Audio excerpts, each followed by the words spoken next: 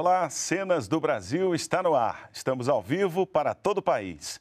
Você pode participar com perguntas e comentários pelos telefones 61 3799 5198 e 3799 5859, pelo e-mail cenasdobrasil@ebc.com.br, pelo facebook.com/tvnbr e também pelo Twitter www.twitter.com/tvnbr. Participe! A descentralização das políticas culturais com a participação da sociedade civil. Uma gestão mais eficaz, planejada, participativa e com o melhor uso dos recursos públicos. Esses são os objetivos do Sistema Nacional de Cultura, tema central da terceira Conferência Nacional de Cultura, realizada em Brasília, de 27 de novembro a 1 de dezembro. Como funciona o sistema e o andamento do Plano Nacional de Cultura? Quais os desafios, os avanços das políticas culturais no país? Hoje vamos conversar sobre essas e outras questões com nossos convidados. Américo Córdula, secretário de Políticas Culturais do Ministério da Cultura, e Gordo Neto, ator e diretor de teatro. Boa noite, obrigado pela presença de vocês. Boa noite. Boa noite. Antes da nossa conversa, vamos ver uma reportagem da TV NBR sobre a conferência. Pelos olhares das crianças dá para ver Todos ficam atentos na hora de ouvir histórias. Mas a criança tem direito também de sorrir, correr na beira do mar e ter lápis para pintar, colorir. Esta é apenas uma das atividades que as crianças recebem aqui na Associação Ludocriarte. A ONG fica em São Sebastião, a cerca de 20 quilômetros de Brasília, e atende a 100 crianças entre 6 e 14 anos. A ideia é ter um espaço para as crianças brincarem no contraturno da escola, um local para exercitar o lado lúdico da vida e soltar a imaginação.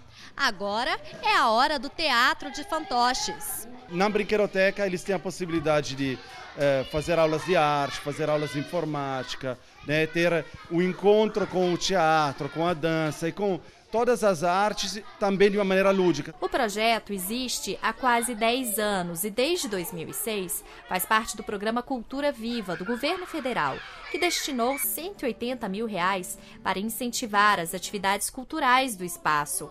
A brinquedoteca virou um ponto de cultura. A brincadeira é, uma, é um, uma das formas é, principais que a criança tem de aprender, né? Então ela aprende brincando. Né? Então acho que uh, uma das, da, das coisas mais importantes de ter espaço como a brinquedoteca, né, uh, esses pontos de cultura, é justamente propiciar essa, é, esse outro espaço-tempo de brincar, de se divertir, de, de ser feliz, de poder ser criança, né, de vivenciar as culturas da infância. Em todo o país, já existem mais de 2.600 pontos de cultura como este, e a ideia é aumentar a existência desses espaços para que mais pessoas possam ter acesso a atividades culturais tema de uma das discussões da terceira Conferência Nacional de Cultura, realizada em Brasília. O mais interessante é que aqui o tema é o Sistema Nacional de Cultura, que vai ser estruturante para a cultura, como o SUS foi para a saúde. Ah, porque vai unir União, Estado e município num plano para a cultura e cada ente federativo desenvolvendo o seu. Vamos começar a nossa conversa aqui no Cenas do Brasil. Secretário, qual é a expectativa desta terceira Conferência Nacional? Então, justamente é, nessa etapa que a gente é, coloca o Sistema Nacional de Cultura, que faz parte da nossa Constituição Federal, não é? é inclusive, exatamente foi o último ato da senadora Marta Suplicy, antes dela virar ministra. É, então, o Sistema Nacional de Cultura ele tem essa, esse objetivo de fazer um grande pacto federativo, é? de modo que a gente possa ter é, um plano nacional orientador para os planos estaduais e municipais. É, é, agora, na terceira conferência, o tema é os desafios para a implementação deste sistema. é, nós temos que entender que é, a complexidade do nosso país, né, que, que tem dimensões continentais, e a, e a quantidade né, de cidades né, com até 10 mil habitantes, com até 50 mil habitantes assim, e assim por diante, é? cada uma dessas cidades tem necessidades é, diferenciadas. Os delegados que estão vindo agora estão justamente trazendo para o Ministério da Cultura qual é o diagnóstico, quais são os desafios para suas regiões, a região norte, que tem é, dificuldades e dinâmicas diferenciadas e assim por diante. Então, nós queremos trazer essas propostas não é, que saiam dessa conferência, justamente para que a gente possa orientar é, o Ministério da Cultura da mesma maneira que as conferências anteriores é, definiram quais são as ações do Plano Nacional de Cultura. Gordo Neto, qual é a sua expectativa? Você participando agora como um, um ator, né, assistindo a conferência. É, é eu sou delegado da sociedade civil é, nessa conferência. Tive é, a experiência de ter vindo na conferência passada como gestor público. Eu fui da Secretaria de Cultura do Estado da Bahia.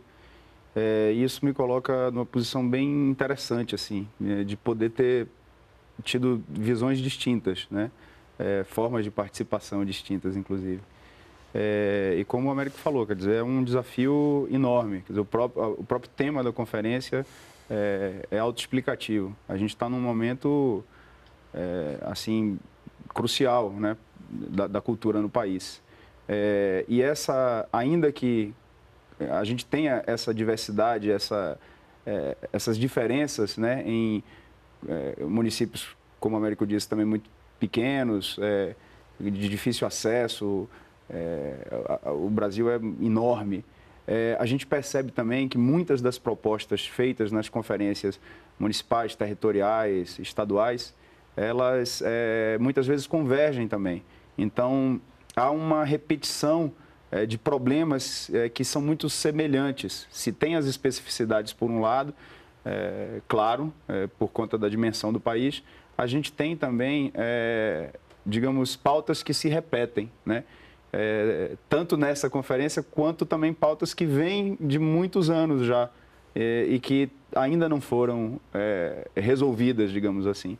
Então, eu acho que é um, é um momento histórico assim do, da história da cultura recente, né? É, a gente pode de fato fazer um, um corte é, radical na forma em que a cultura é, encarada no país a partir é, do, do, primeiro mandato do governo Lula e com a chegada de Gil ao, ao ministério. É, então, de lá para cá, os avanços foram incomensuráveis. Assim, é, é, mu muito diferente. É, eu sou relativamente novo ainda, mas pude acompanhar é, de lá para cá é, e os avanços são, de fato, enormes. Mas ainda temos muito que caminhar e eu acho que foi muito acertado é, o tema dessa conferência ser justamente é, tentar descobrir quais são os nossos desafios agora para a implementação, de fato, do Sistema Nacional. Secretário, como é que se dá a participação social? Bom, para nós, não é, a, a, todo, esses últimos 11 anos, quer dizer, nós tivemos é, conferências de toda sorte, na área da saúde, na área da educação, é, na questão da diversidade sexual, nós tivemos a primeira conferência LGBT é, é, do mundo que se conheça, porque só foi feita no Brasil e apenas uma vez. E a, a, conferência de cultura, que vem no seu terceiro, na sua terceira versão, ela é, é construída a partir de conferências municipais. Não é? E nós praticamente mais que dobramos não é, é o número de participantes da segunda conferência né, que foram cerca de 210 mil pessoas. Essa, essa versão teve 450 mil pessoas que participaram em 3.500 conferências municipais. Então, é um processo assim que envolve muita gente. É, o que nos surpreendeu muito é que nós estamos no primeiro ano de gestão municipal e, e, e, denotando que as prefeituras, os prefeitos estão preocupados com esse tema, que de vez em quando a gente demora um pouco para os prefeitos entenderem. Isso, isso, houve uma conjunção nesse sentido é? e depois eles vão para o estadual, e da estadual elege os delegados para virem para a nacional. Então, nós tivemos mais de 1.500 propostas que vieram das conferências estaduais, nós temos conferências livres, conferências livres são grupos que podem fazer sobre determinado tempo. Hoje tivemos uma experiência fantástica com a, a cultura surda.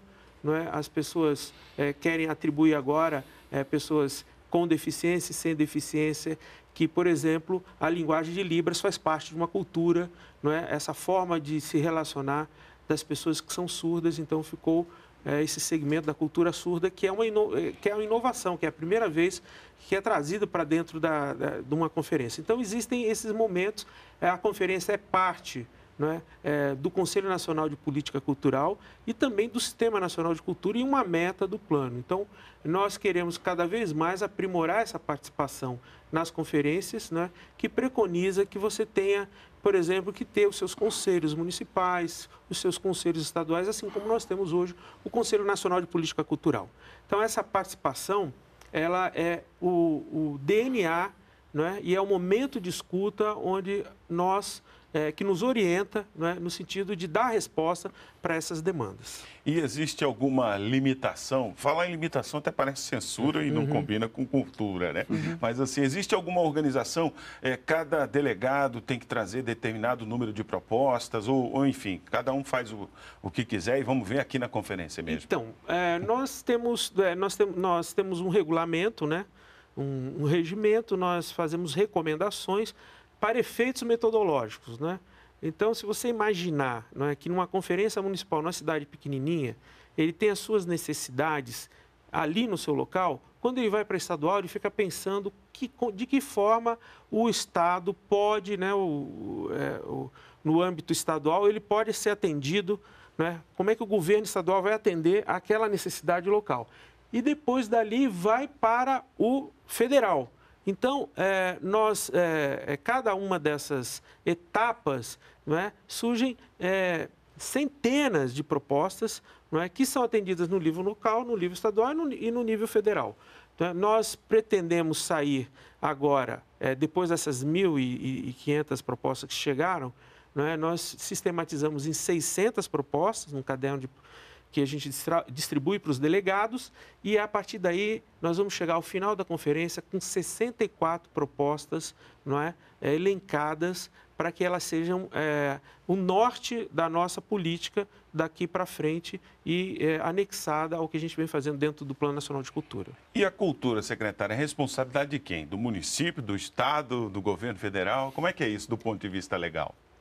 A cultura é de responsabilidade de todo mundo. Não é? Nós hoje, é, o conceito de cultura que a gente utiliza é, atualmente é um conceito muito mais ampliado. Se antigamente nós tínhamos a questão só das linguagens artísticas, hoje a gente trata da cultura na sua tridimensionalidade. A cultura na dimensão simbólica, não é? É, numa questão mais antropológica, é? O que nos amplia muito quando a gente fala de diversidade cultural, a gente não está falando só de música, de teatro, de dança, de artes visuais, mas estamos falando da cultura dos povos indígenas, dos afrodescendentes, das pessoas com deficiência, das pessoas é, é, que precisam, é, por exemplo, a diversidade sexual, de gênero, a cultura da infância, da juventude, dos idosos. Então, há um leque enorme que o Estado tem que dar hoje conta. Não é? Mas, por outro lado, a sociedade, os estados e municípios precisam é, apostar não é? e se apropriar é, dessa nossa proposta não é? da diversidade cultural. Nós temos uma convenção hoje da Unesco, que é justamente sobre a proteção e a promoção da diversidade das expressões culturais, que é um marco legal é, mais importante, porque ela tem força de lei, foi ratificada no Congresso, por mais de 140 países e a gente usa esses conceitos justamente para que a sociedade, o governo e o Estado possam criar políticas e, é, enfim, ações que de fato a gente possa promover é, é, e proteger a nossa cultura e a nossa diversidade cultural. É complexo, é um assunto muito novo, ainda as pessoas têm muitos é, gestores que, que precisam ser é, capacitados para dar conta desse desafio. Gordo Neto, conta um pouco da experiência. Você disse que veio na segunda conferência como parte do governo, eh, Secretaria de Cultura né, da Bahia, e agora vem como delegado. Tem muita diferença? Como é que é essa situação? Oh, tem e não tem. Quer dizer, é, é, o, o lugar é diferente, mas o propósito, eu diria que quase que completamente é o mesmo, porque é, a gente tem que entender que todo mundo está caminhando para um mesmo objetivo É claro que o papel do Estado é um e o papel da sociedade civil é, é outro.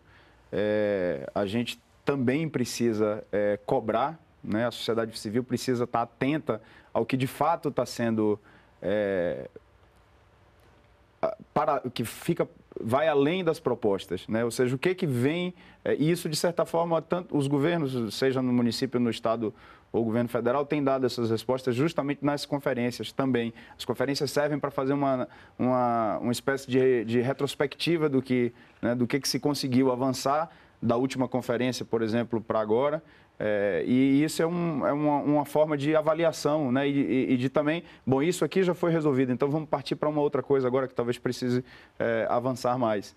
É, então, o lugar é diferente, mas eu acho que o propósito é, é, o mesmo. Mas, de fato, a sociedade civil tem um papel, eu acho que tem um papel importantíssimo, justamente nesse sentido de mostrar a diversidade que esse país tem. É, é muito bonito ver, é, eu não sei talvez mais de 2 mil pessoas né, é, na conferência. 1.500 pessoas na conferência, é, de diversos é, é, lugares do, do país, municípios muito pequenos, municípios muito distantes.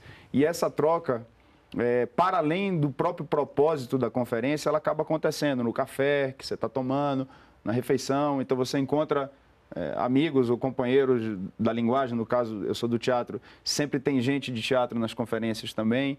Então é, a conferência serve para além do que ela própria está, é, o objetivo principal dela, ela tem outras reverberações também, que é inclusive importante também para a sociedade civil para entender como está avançando nos estados. Então, como é que funciona o Fundo Estadual de Cultura em São Paulo?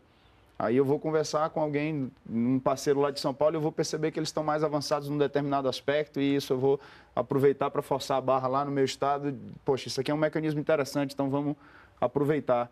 É, então eu acho que a gente também, a sociedade civil, tem esse papel de articulação entre nós, né? que isso passa ao largo da conferência, mas eu acho que é um, é um, é um, é um fator importantíssimo também. Antes de continuarmos nossa conversa, vamos ver uma matéria da TV NBR sobre economia criativa. Vinícius tem esta empresa de jogos eletrônicos. Em 12 meses de atividades, o faturamento foi de 200 mil reais. Ele já ganhou três prêmios nacionais. Entre os clientes estão uma grande marca nacional de cervejas, além do Banco do Brasil. E as encomendas não param. A próxima é do Serviço Brasileiro de Apoio às Micro e Pequenas Empresas, o SEBRAE. Vinícius também quer desenvolver produtos para o público em geral. O Brasil é, hoje consome muito mais do que países importantes da América Latina, como é o caso do México, né, e consome muito mais do que todos os países, praticamente todos os países da Europa. Uh, nesse contexto, a gente tem muito, muitos jogadores que têm desejo por jogar esses jogos, né, mas que ainda não conhecem o potencial do desenvolvimento brasileiro. Então, nesse viés, a gente percebe que conseguindo unir a demanda nacional com produtos nacionais, talvez a gente consiga então alcançar um mercado até então pouco explorado por essa indústria brasileira. A artista plástica e designer Nina Coimbra também fabrica artigos exclusivos. O ponto alto da confecção é a linha de móveis. Combina madeira nobre como mogno com tecidos importados. Os preços acompanham a criatividade e originalidade das peças. A gente tem desde copos, louças, é, roupa de cama, que são produtos mais baratos, então de 20, 30, 50 reais, até as peças que são mais trabalhadas, que têm mais valor, é, que, móveis design, que, e aí essa, essas peças são mais, anti, mais caras, então a gente tem de 50 a 5 mil reais. Tanto os jogos eletrônicos de Vinícius quanto os móveis de Nina se enquadram nos bens produzidos pela economia criativa. A principal diferença em relação à economia tradicional está na originalidade dos produtos. O IBGE estima que a economia criativa movimenta por ano 104 bilhões de reais. E para ampliar ainda mais os negócios do setor, foi firmada uma parceria entre o Ministério da Cultura e o SEBRAE. A parceria prevê cursos, encontros e a publicação de livros sobre a área. Esse é um segmento da economia que cresce muito. A economia criativa hoje significa muita geração de emprego, muitas oportunidades e nós vamos entrar com a parte de gestão empresarial, para que esse produtor musical, pro, que faz cinema, que faz música, se enxergue como empresário e desenvolva seu negócio para ganhar mercado e botar a tua empresa de pé. Muitas vezes ele é muito criativo, tem grandes ideias, é muito talentoso, mas na hora de fazer sua empresa, nem tanto. Então, mesmo ele sendo um especialista, a gente quer ajudá-lo a, a, ter uma boa gestão empresarial, a ter um bom, um bom controle financeiro e acessar novos mercados. Tem muita gente hoje nesse tipo de experiência e no Brasil é um país com alta informalidade, mas é um país que as pessoas querem, é, querem se formalizar, elas querem ganhar dinheiro, elas querem poder viver do que elas produzem e nós sabemos que isso vai fazer muito bem a toda a economia criativa, que é algo mais ou menos novo no Brasil. Por isso que eu disse que a gente ainda está meio tateando, mas uh, quando a gente vai com o Sebrae, a gente não tateia, a gente faz. Vamos aí uma matéria sobre economia criativa, quer dizer, dinheiro, geração de empregos, é, recursos, riquezas. É, cultura tem a ver com isso tudo, né? Com certeza é, é, uma parte fundamental da economia de um país, né, secretário? Pois é, a, o que acontece muito é uma informalidade, um não reconhecimento dessa produção é, que está em todos os lugares, né? desde um artesão de uma loceira do, do sertão da Paraíba até ao, ao, jovem aí que está fazendo games não é? e encontrou aí já um nicho dentro desse mercado. Não é? Então, o nosso desafio é de que maneira que você vai reconhecer é, é, toda essa gama é, de diversidade e de situações. Uma loceira no sertão da Paraíba, ela faz a sua produção manual, é, vende e se sustenta com aquilo, com a família, às vezes em lugares sem luz, é, tendo, uma, por exemplo, um forno de queima de baixa temperatura, mas ela sobrevive daquilo. De que maneira que a gente pode é, é, ampliar, não é, de modo a não interferir até no processo, que esse é o nosso desafio, porque os processos tradicionais eles não podem ser é, industrializados. Eu sempre fico com um certo receio quando você quer é, formalizar e aí você acaba descaracterizando esses produtos que são feitos. A riqueza está ali, onde você vê a marca do dedo, da digital naquele prato, naquela escultura. É, então, esse artesanato, que é o artesanato é, mais tradicional, é, ele tem um, um, um valor é, muito importante, mas que a sociedade em si não reconhece. Às vezes vem muita gente de fora e valoriza não é, aquele produto e a própria comunidade, que, é uma, que geralmente são comunidades pobres, não, não, não, dão um determinado valor. Esse é um desafio que a gente está enfrentando no Ministério da Cultura. Nós temos um programa de artesanato tradicional, que está dentro do Centro Nacional de Folclore e Cultura Popular, que é do IFAM e a gente dá apoio para esses polos. Nós temos a Secretaria de Economia Criativa, que é responsável é, justamente para esses processos criativos, de maneira a criar incubadoras, a poder é, fomentar essa produção, que pode vir de todos os lados, né? na costura, na moda, é, no artesanato, nos games, nos produtos digitais, é, enfim, há toda uma gama é, de possibilidades que precisam, de alguma maneira, ser entendida com políticas que deem esse empurrão, que deem esse impulso, e aí a gente começa a medir qual é o impacto que tem. Apareceu um número, não é? É, de 104 bilhões dessa, dessa indústria, dessa economia criativa, como nós chamamos. Mas o caso brasileiro é um caso diferenciado da política brasileira da, das outras formas de indústrias culturais, como tem, por exemplo, os Estados Unidos da América ou a própria Europa, não é, que já trabalham numa, numa escala é, econômica né, é, e mercantilizada. Não é? Por exemplo, a indústria do entretenimento, do cinema, do audiovisual, que praticamente domina o, o planeta quando você tem 95% das salas de cinema passando filmes não é? e o modo vivendes né? É, da, dessa, dessa sociedade. E é aí que vem esse embate de como proteger a nossa diversidade, dar apoio para essa economia criativa né? versus essa indústria cultural não é, que acaba é, é, se sobrepondo né, e trazendo valores que são totalmente é, diferentes dos nossos. Né? Então, isso é, e, mas isso é uma estratégia, uma estratégia de mercado. E é essa a, a, a nossa é, é, disputa né, é, e nós trabalhamos já numa outra lógica diferenciada dos outros países hegemônicos. Gordo Neto, qual é o maior desafio de quem trabalha com cultura? Quem vive de cultura? Olha, o maior, eu, eu acho que é não, não desistir. né? É, é uma luta diária. É, a, a despeito do que eu falei há pouco, né? quer dizer que os avanços são muito grandes, têm sido muito grandes, é, a gente ainda tem uma questão crucial é, para a cultura no país, que ela é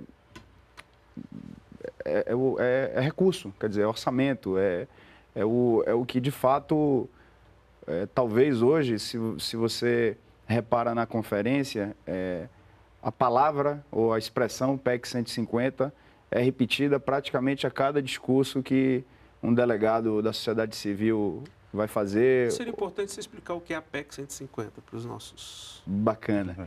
É, a, a, PEC 150, ela é de 2003, né? É, ela é, propõe, destinaria, é, destinará, assim que for aprovada, vamos falar assim, é, 2% do orçamento é, a nível nacional para a, a, cultura, 1,5% é, no Estado, né? nos estados e no Distrito Federal, e 1% nos municípios. Para vocês terem uma ideia, porque eu acho que isso é uma, é uma, é uma revolução. Seria uma revolução se a gente é, chegasse à PEC é, o mais breve possível. Para vocês terem uma ideia, é, eu vou tomar como exemplo a cidade que eu vivo, Salvador. Como vocês sabem, Salvador é a terceira maior capital do país. É, ela não tem secretaria de cultura própria. O que, é que eu quero dizer com isso? É, não há uma secretaria específica de cultura na, na, na cidade. Ela é também é, de desenvolvimento, de esporte, lazer, eu já nem sei, são muitas coisas juntas numa secretaria. É, e o orçamento é, o, o, nesse ano de 2013 foi de 0,01%. Se a gente salta de 0,01% para 1% no município, que é o que prevê a PEC, é, é uma mudança radical. Né? E você imagina isso na escala do país inteiro. Ou seja, todos os municípios é, é, né, dedicando 1% do seu orçamento à cultura. É, 1,5%, todos os estados dedicando 1,5%, e o governo, e o governo federal 2%, e, sobretudo, com a implantação do sistema, os repasses fundo a fundo, que são os fundos de cultura constituídos, né, é, com a implantação do sistema, essa é uma das é, perspectivas de que os recursos do governo federal possam ir para os estados, por sua vez, para os municípios. Ou seja, é um, é um outro mundo, é o melhor dos mundos, né? Porque, volto a dizer, se a gente avançou muito nos marcos legais, sobretudo recentemente, né, é, se a gente avançou muito nesses aspectos, é, a questão orçamentária ainda é um problema muito grande e a gente também não pode deixar de falar a preponderância do incentivo fiscal sob o recurso direto, ou seja, para ser mais claro, é, o dinheiro é, que é aportado através das leis de incentivo, não só, inclusive, é, é, a nível federal, né? É, felizmente, na Bahia, isso se modificou. A gente tem muito mais aporte financeiro para o Fundo Estadual de Cultura do que no incentivo fiscal. Mas, para vocês terem uma ideia, hoje, é, em ordem disso, o Américo pode me corrigir se eu estiver errado, mas é, a gente está com é, cerca de 1 bilhão e 700 milhões é, sendo operados pelo incentivo fiscal, via Lei Rouanet, e cerca de 300 milhões no Fundo Nacional de Cultura.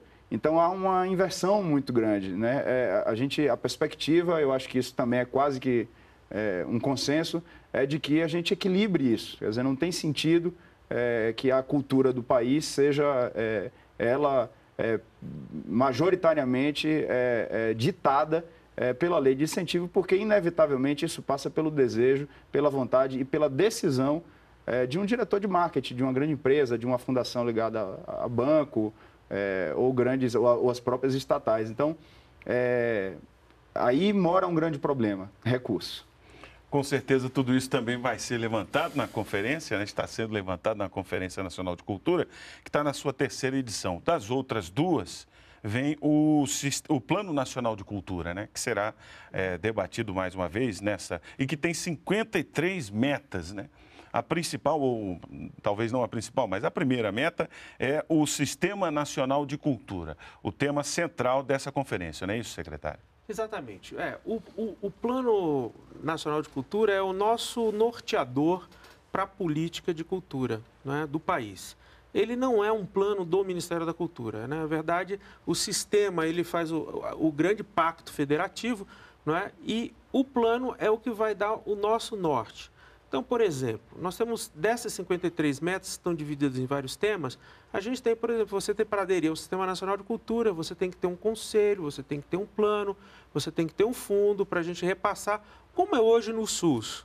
O Sistema Único de Saúde faz um pacto também com o federativo, no sentido de corresponsabilizar o que, que o Estado tem que construir, o que, que o município tem que fazer. Ah, tem que fazer hospital, unidades de pronto atendimento, unidades básicas de atendimento. A gente quer fazer a mesma coisa com a cultura.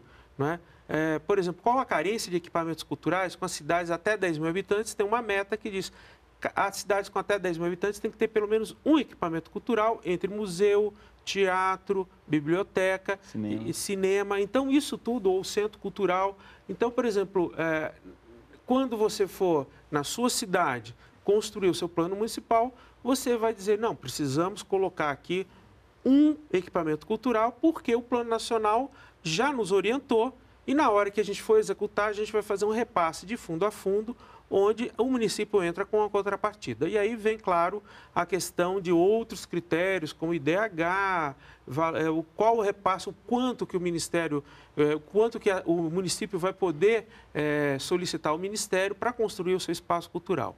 Agora, isso é, traz para esse desafio um, uma capacitação desses gestores, porque não adianta construir um espaço cultural se você não conseguir manter esse espaço cultural se você não tem recursos para ter segurança, para ter limpeza, para fazer uma curadoria, para trazer os artistas. E, geralmente, é, esses projetos viram é, um elefante branco para dentro da gestão, porque eles não têm orçamento, e aí volta a questão que o Gordo falou, que esse planejamento ele tem que ser tratado com a sociedade, com a Câmara de Vereadores, para aumentar a dotação, para ele ter uma parceria público-privada, é, trazer recursos de, de incentivo ou não, e com isso você ter um equipamento que seja frequentado, que forme público, aí vem um, um, outro programa de acesso à cultura e assim por diante. Então, nós, é, no, esse conjunto de metas, vem com essa, com essa perspectiva. Né? Construção de equipamentos, programas de acesso, como Vale Cultura, não é, que foi lançado agora recentemente, que pretende chegar a, a 42 milhões de trabalhadores, é, que vai dar uns 50 reais para você ir no cinema, para você ir no teatro, para você comprar um livro, comprar um DVD e assim por diante. Então, esse é o maior programa de acesso ao trabalhador e é uma das metas do plano. Então, o plano tem essa, esse arranjo. Agora, o problema é você pegar as 53 metas e enxergar tudo. Então, geralmente, né, as classes artísticas falam, não, agora o, o gordo é do teatro. Não, qual é a meta que vai falar do teatro? Aí ele não vê que tem uma meta de leitura, que tem uma meta lá que é ler quatro livros por ano até 2020, né? Aí tem que ver a meta que tem acesso, a meta que vai ter o fomento. Então, isso é o arranjo, né? É, que está, é, essa costura, esse, essa colcha de retalhos que a gente está fazendo para que a gente, de fato, quando chegar em 2020, a gente saiba o que, que a gente quer para a cultura. Ler mais livro, ir mais ao cinema, ter equipamento cultural, é, mais pontos de cultura, que é o programa Cultura Viva, é? e a gente tem aí uma série, bibliotecas modernizadas, é, mestres da cultura popular dando aula na escola e assim por diante. Então, isso é o que a gente vai agora na conferência mostrar, olha, estamos indo nesse caminho. Está faltando mais alguma coisa? Está faltando mais um segmento? Hoje surgiu, por exemplo, a gastronomia. A gastronomia, a gastronomia como aspecto cultural né, que é importantíssimo. No entanto, a gente não tem nenhuma meta ou nenhuma é, proposição. Então, deve sair dessa conferência propostas que venham a criar políticas para a gastronomia como um aspecto cultural. Bom, voltamos então com perguntas de nossos telespectadores. A Ana Maria é professora de teatro em Viçosa, Minas Gerais. Ela pergunta: o que o município deve fazer para criar o seu sistema municipal de cultura? E a Rosa Maria também é professora, professora de artes cênicas de São Paulo está participando da conferência e pergunta: mesmo já tendo implantado e estando em funcionamento alguns ou mesmo todos os componentes citados, o município precisa criar uma lei específica para a criação do sistema?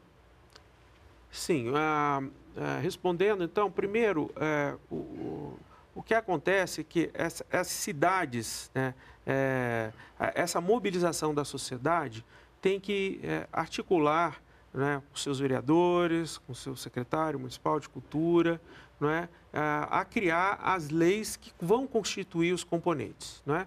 São três componentes: é o conselho, o plano e o fundo. Não é? Então a gente chama o CPF, conselho, plano e fundo. Então é, isso constituído é constituído por uma lei municipal, não é? E aí é que você vai de fato ter é, estar habilitado a participar é, do Sistema Nacional de Cultura. Não é? Então, no, nesse Conselho Municipal, você tem que ter participação da sociedade civil. Não é? É, paritária. É, paritária. Esse Fundo Municipal de Cultura, ele pode ter várias é, fontes, não é? é? por exemplo, tributos, orçamento próprio, não é? e voltados, é, enfim, para atender ao quê? A, a, ao atendimento das metas do seu plano municipal.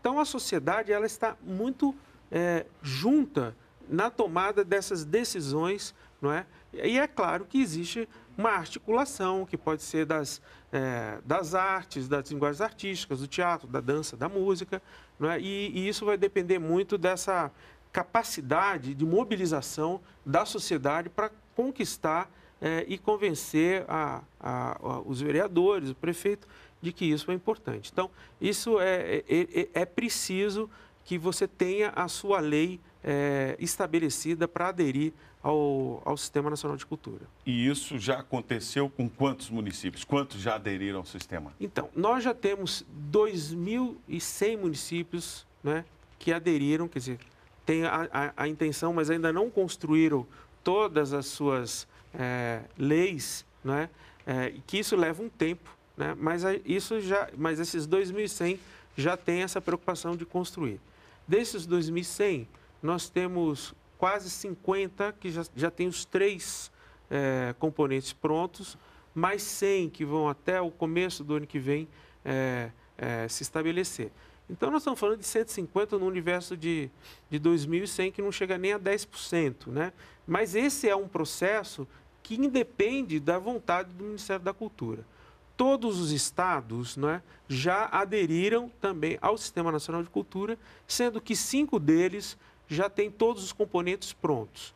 E a nossa estratégia agora é que, para anunciada pela ministra na abertura da conferência, que no próximo ano a gente já repasse recursos para esses cinco estados que começaram. Uns recursos na ordem de 30 milhões de reais, que já vai instigar aos outros estados a construir e aos municípios também construir os seus, os seus mecanismos.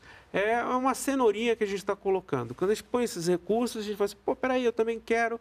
E aí há, é, logicamente, um interesse de que é, a gente aumente e chegue em 2020 em 60% desses municípios. Né? 60% de municípios, estamos falando de 3.300 municípios. Então, é um, é um desafio grande, porque a gente tem pouco tempo para fazer isso.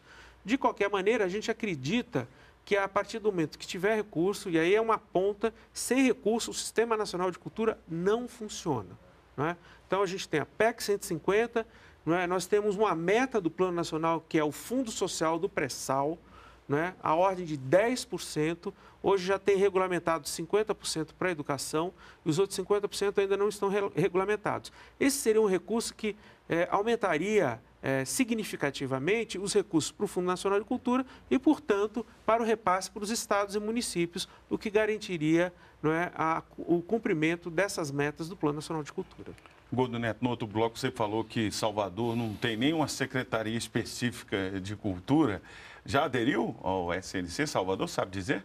Sei dizer, está quase, já aderiu e já está quase é, chegando é, no CPF, ou seja, já está caminhando. Na verdade, já cumpriu com todos. Ele é um dos estados que. A Bahia. É, a... Ah, Ele está perguntando Salvador. É, ah, Salvador. A, a, Bahia, ah. em 2011, aprovou a Lei Orgânica da Cultura e é um dos cinco estados é, que o Américo é, falou há pouco. E a prefeitura é, da cidade de Salvador está caminhando a passos largos é, para que, num futuro bastante breve, me parece até que está previsto para segunda-feira a votação na Câmara do sistema municipal é, o que, por um lado, é bom, porque digamos, mata a história, mas como foi muito corrido, tem uma certa é, ressalva da sociedade civil, porque isso não foi discutido.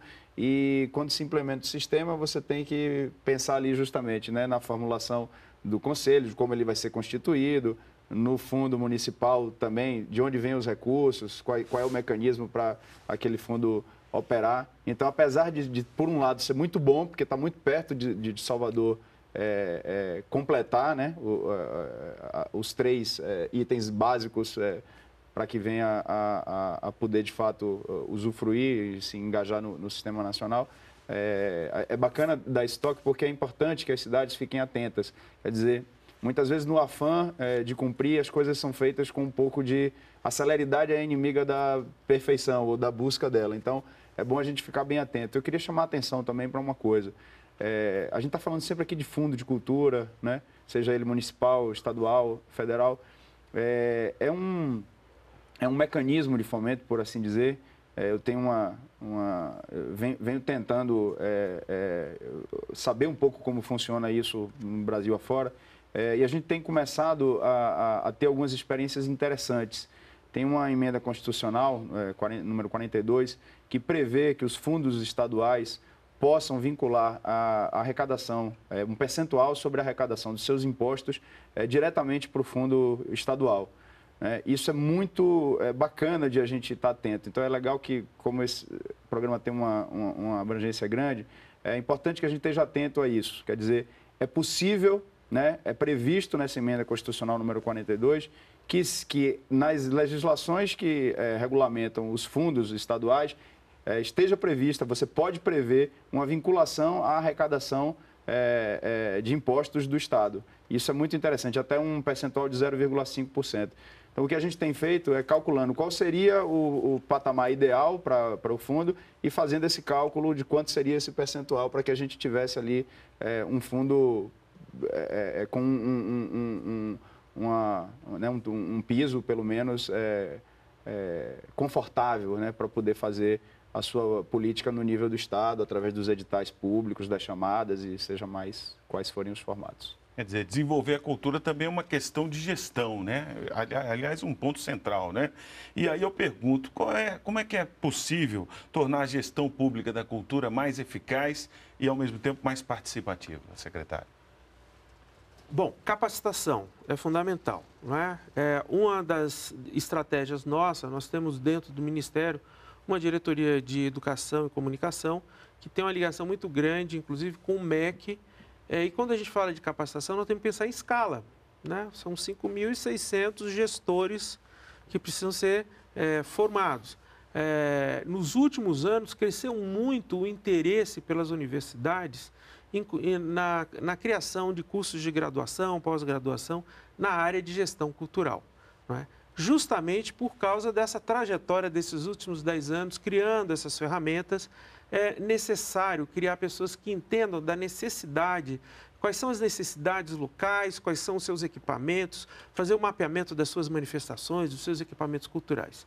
Dentro do Plano Nacional de Cultura, é, é preconizada a criação de um Sistema Nacional de Informações e Indicadores Culturais, que já está no ar. Não é?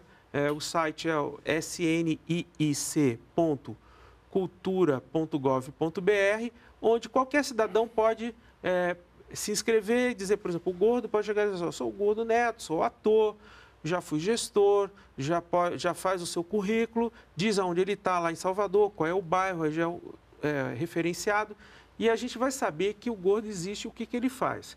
Então a gente quer criar uma grande rede social da cultura, só que pública.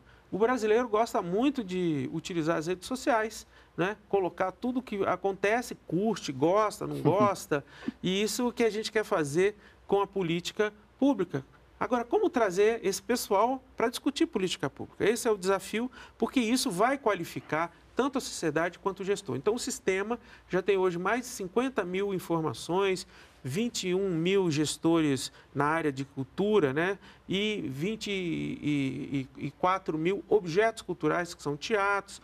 Nós temos todos os museus, todos os teatros, então, que estão convidados a participar disso. A outra, a outra é, questão é a, a formação continuada desses gestores. Nós lançamos é, duas publicações, né?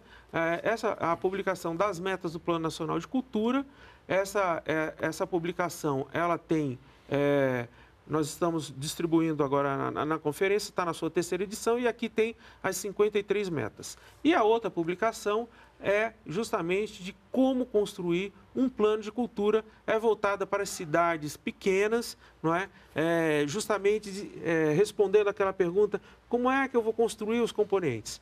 Não é? Como é que o gestor vai escutar? Quais são as necessidades? Eu tenho condição de manter é, é, essa proposta que está vindo é, da sociedade? Eu tenho condição, enfim.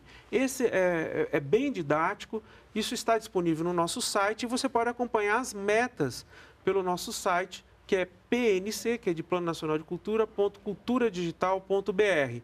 E lá você pode também baixar essas publicações. Então, a ideia é disseminar essa cultura do planejamento e da gestão, oferecendo à sociedade essas ferramentas de internet que você pode é, utilizar a qualquer momento. É, a ministra Marta Suplicy disse que a presidenta Dilma Rousseff quer promover a inclusão social dos brasileiros por meio da cultura. Como é que isso é possível na prática? Quer dizer, inclusão social através da cultura. Cordo Neto. Olha, eu acho que é o, é, é, é o modo mais fácil, eu diria. Quer dizer, a, a cultura consegue ter uma, uma dimensão enorme, né? É, é para a sociedade. A gente, a, a gente não consegue é, fazer esses links, quer dizer, a cultura está muito ligada à educação. Né? Tem uma, a gente fez uma campanha há pouco lá é, na Bahia, é, por conta de, um, de uma questão relativa ao repasse do Fundo de Cultura aos proponentes, é, que a gente fazia justamente esses links, quer dizer, cultura é educação, cultura é saúde, cultura é segurança, porque você consegue é, claro, num, num, determinado setor, quer dizer, a formação é importante para você tirar é, é, é, adolescentes, né, é, através de programas de formação é, nos pontos de cultura, por exemplo, isso é muito comum. o papel da cultura para incluir é enorme, né? É, é, isso que eu digo, quer dizer, a gente não, não consegue mensurar a, a, a a, a, grande revolução que seria se a gente tivesse recursos para fazer tudo que potencialmente é, o, o, país tem para fazer. Quer dizer, é muita coisa é, é, um, é um. Para além é, da questão é, da geração né, de recursos do próprio, né, da, essa coisa mais ligada à economia criativa, é, a gente tem um papel social enorme. Quer dizer, a gente é, é, transita aí por, por, por muitas áreas, seja nas linguagens, né, o teatro, a dança, o circo, é, que inclusive é um dos, uma das linguagens que tem um papel bastante fundamental nesse sentido. Lá em, Salvador tem uma referência bastante interessante, que é o Circo Picolino. Então, é, é, um, é um, eu acho que é, um, é uma, uma forma é, é fluida né, de a gente é, ter inclusão. E eu acho que a inclusão também, sobretudo, de fruição né, do, do, da cultura a gente tem ainda um problema muito grande. A, a, a cultura não consegue chegar em todos os lugares, né? É, é, isso tem um, o teatro de rua tem um papel fundamental, é, as expressões é, é, da cultura popular têm um papel fundamental. Quer dizer, o, o, o, o cidadão precisa conseguir chegar até a cultura. Então, tem muitas formas de se fazer isso. Pois é, a inclusão social, né, nesse contexto de inclusão social pela cultura, os pontos de cultura têm papel fundamental. Como é que estão os pontos de cultura, secretário? Exatamente. Quando foi colocado agora no, no, começo do programa, o vídeo, né, quer dizer, o, o ponto de cultura é a referência né, de um programa de inclusão social. Inclusive, ele é um programa né, de base social, né, um programa que atinge, a, a, tem uma capilaridade enorme, né? nós temos mais de 4 mil pontos de cultura hoje, e já é um exercício do Sistema Nacional de Cultura quando a gente criou o Mais Cultura, onde a gente repassou essa responsabilidade para os estados e municípios construírem as suas redes de pontos de cultura. Né? É, então, é um programa que tem agora 10 anos, o programa Cultura Viva. É, hoje está tramitando no Congresso uma lei de criação da Lei Cultura Viva, que, é, o, que tem essa função primordial de fazer essa inclusão social, é, é, porque ele é um programa que tem que chega nessa ponta, não é? é um, não, não tem muitas exigências, claro, tirando a questão da prestação de contas, que é um outro, é, um outro desafio nosso, né? mas o, hoje esse programa, inclusive, já vai para fora. Nós a, a, é, lançamos agora o Ibercultura Viva, que é justamente para os países ibero-americanos.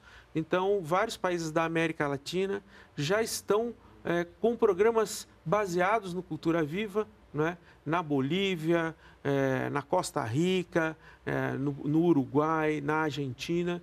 E isso de, denota que essa experiência, ela de fato é um caso de sucesso. Né? Agora, a gente precisa ampliar isso. Por exemplo, se hoje a gente tem esses últimos 10 anos a perseguir a, a erradicação total da pobreza, né? nós conseguimos, de alguma maneira, de uma forma material, resolver problemas básicos. Né?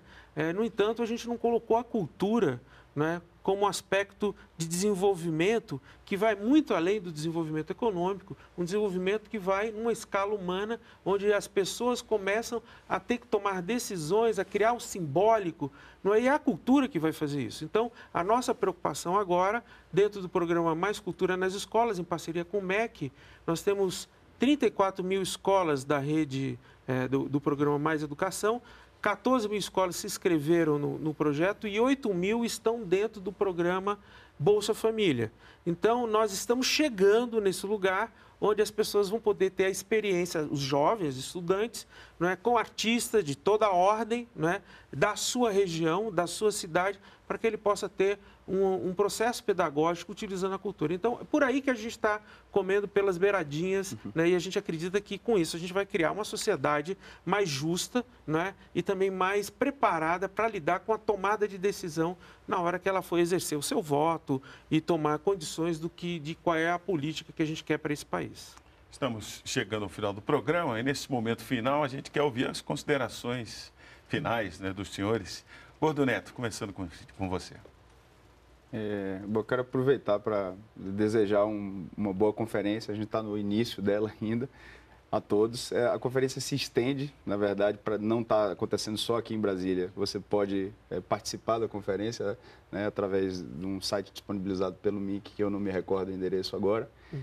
É, mas que isso, na verdade, é uma, é uma é, é, é, sempre é contínuo, quer dizer, é, a, a, o papel da sociedade civil não se encerra nas conferências municipais, estaduais é, ou nacional.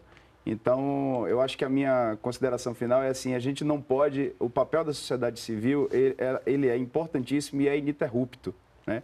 E a gente precisa criar mecanismos de ajuda entre nós, né? Como é que a gente pode colaborar para que o que está funcionando bem no meu município ou no meu estado, é, né, como é que eu posso é, ajudar ali um, um, um, outro, né, que, que talvez não tenha tido aquela experiência ainda. É, e eu acho que também não é. A gente precisa reafirmar isso, é, seja através da PEC 150, é, seja através de qualquer outro mecanismo e ou vontade política de se fazer, é imprescindível e eu diria que a gente talvez esteja perdendo um pouco o bonde, né? É, porque o momento talvez seja justamente esse. A gente precisa encarar com muita seriedade essa questão orçamentária da cultura.